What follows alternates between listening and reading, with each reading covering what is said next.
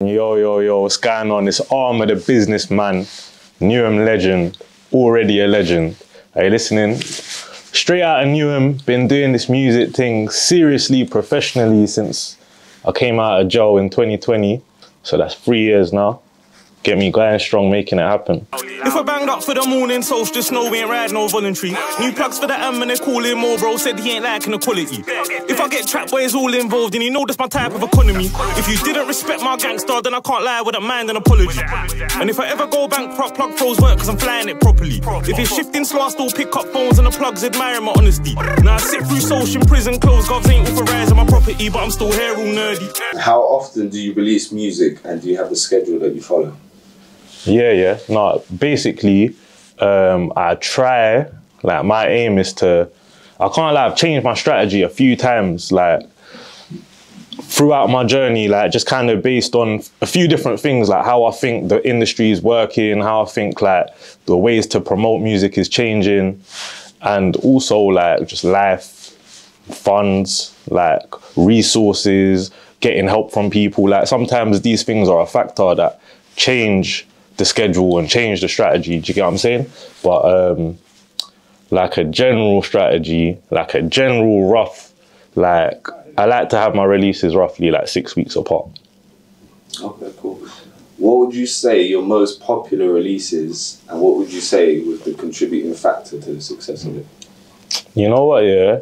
It's hard to say because there's so much different criteria, like um, on how you judge how successful your release is. Do you get what I'm saying? Like, so I've got some songs, for example, like they didn't stream very well, but I've had a lot of like people come and tell me, no, that's my favorite song. And it's like, it doesn't match the numbers, but it meant a lot to that person, for example. And then I've got other songs that have like streamed very well and like they've been put on loads of playlists and stuff like that. But, um, like for example, like it will do well over there, but on YouTube it's not as strong. Do you get what I'm saying? Or like you get what I'm saying, bro? So it's hard to it's hard to judge. Like the way I look at it is that all these releases are part of like one portfolio. Do you get what I'm saying? All under what I do. Do you get what I'm saying? So each thing is just a, another step. So one thing might be successful for for one thing. Like for example, um, when I do when I touch on different subjects and talk talk about different like parts of my personality and life, it might bring in different audiences. So that's like a,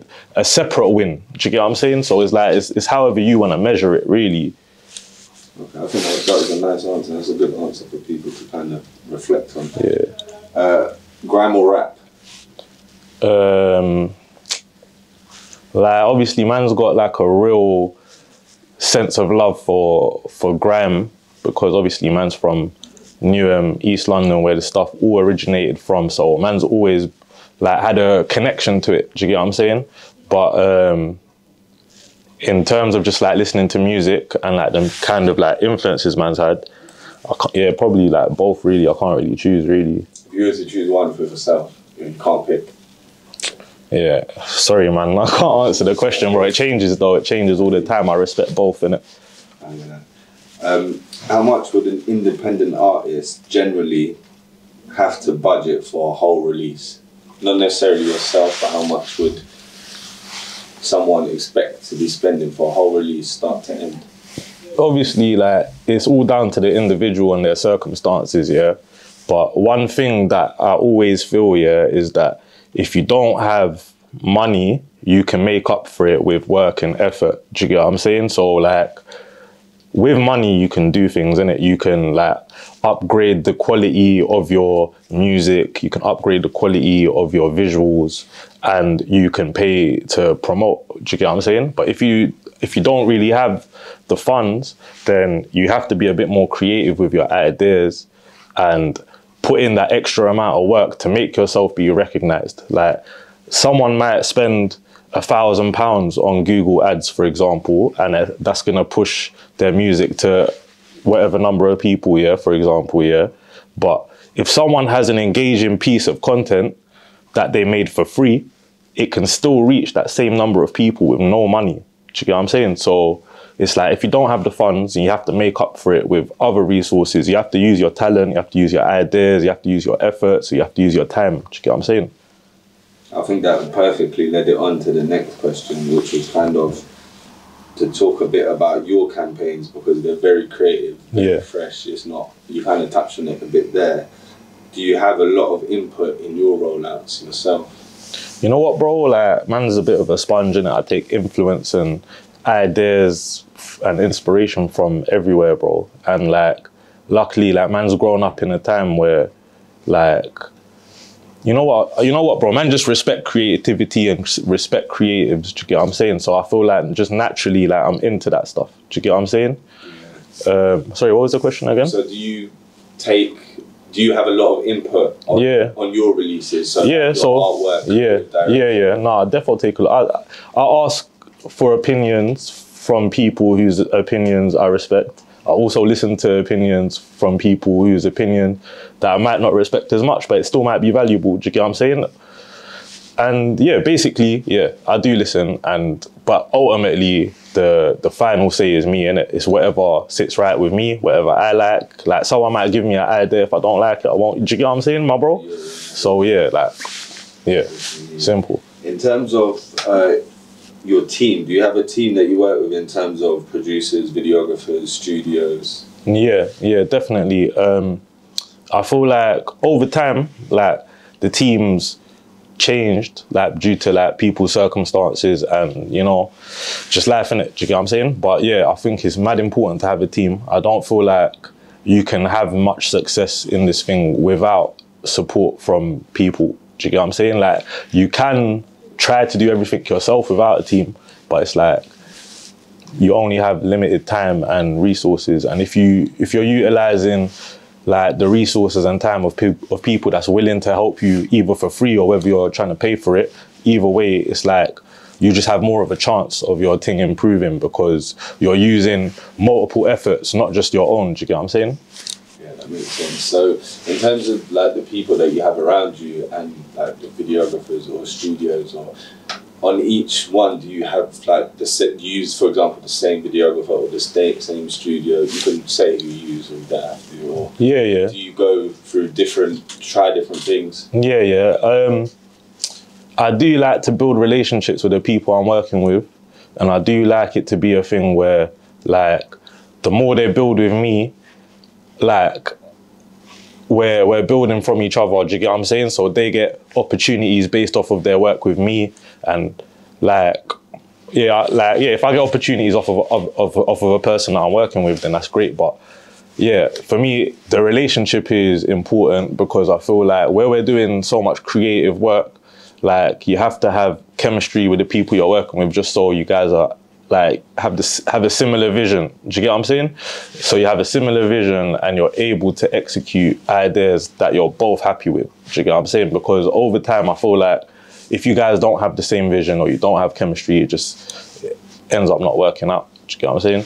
But yeah, no, I definitely do have a lot of people that I circle back to. I got and separately, like when I say the team, it's like I might have like set producers that I work with, might have set videographers that I work with, artwork guys, guys that mix and master, like radio plugger, eh, like do you get what I'm saying? Like there's various out there, in it, And the better and the more you build relationships with all of them is you got a better chance of having a good product and a successful and appealing product. Do you get what I'm saying? That's a, that's a good piece of advice. Um, for an independent artist, do you think that they can produce a stable income quickly from music? Someone who's just sort of coming into the game two, three years in. the way I look at it is that like it's a business, isn't it? Like if well, it's a business if you want it to be a business. Do you get what I'm saying? Like because you know what, when I speak to artists um, that want to get into music and be successful in music, my first conversation usually with them is why are you doing it? Like, do you get what I'm saying? Are you doing it for the passion of it? Do you want like the clout from it? Do you want the money? Do you want the respect? Do you get what I'm saying? And it's like whatever reason you're doing it for should kind of decide how you you attack it. Do you get what I'm saying? It's like uh, what? Sorry, what was the question again, my bro? So, um, does it an independent artist? Oh, yeah, can they get it quickly? Stable income. Yeah, so basically, I would say like statistically, businesses in the UK the majority of them don't see profit for the first two years. So if you see your thing as a business, um, based on those statistics, it's like it's pretty unlikely to get a stable income quickly. Do you get me? I'm not saying it's impossible. It happens, but it's like they're more anomalies rather than like you get me? Like it's not a it's unlikely for you to get a stable income quickly independently unless something out of the ordinary happens. Do you get what I'm saying? Yeah, I think that's a, that's, that's a fair like Yeah. view. But yeah, sorry to add to that, yeah, it's like a lot of people, especially like um, from the pandemic, for example, yeah, a lot of people started like home businesses and things like that. They tried to turn their hobbies and passions into a business. Do you get what I'm saying? Um, but it's like you for you to make it past that two year statistic and make it into success, you have to have a real passion and want to make it happen. Do you get what I'm saying? If your passion and want doesn't stretch far enough to take on all the other things that come with a business, do you get what I'm saying? Um, then yeah, it's long. Yeah, ultimately like chasing the money Yeah. is not enough. But you've got to have the passion for it, pretty much. Um, Would you say? I would say to see it to the side because basically trying to be an entertainer is like one of the hardest things in the world to to succeed at. Do you get what I'm saying? If it's for money, I would say there's plenty of other ways to make money. Making music is probably not the best one. Do you get what I'm saying? Unless you have that passion. Do you get what I'm saying? Otherwise, yeah, you might not make it to that side. A lot of people don't. They quit before they make it to that side, innit? Do you get what I'm saying? Yo, yo, you've been listening to Armor, giving out some advice to all the independent artists out there. Yeah. If you don't know who I am, go check out my thing. Out. Respect the studio.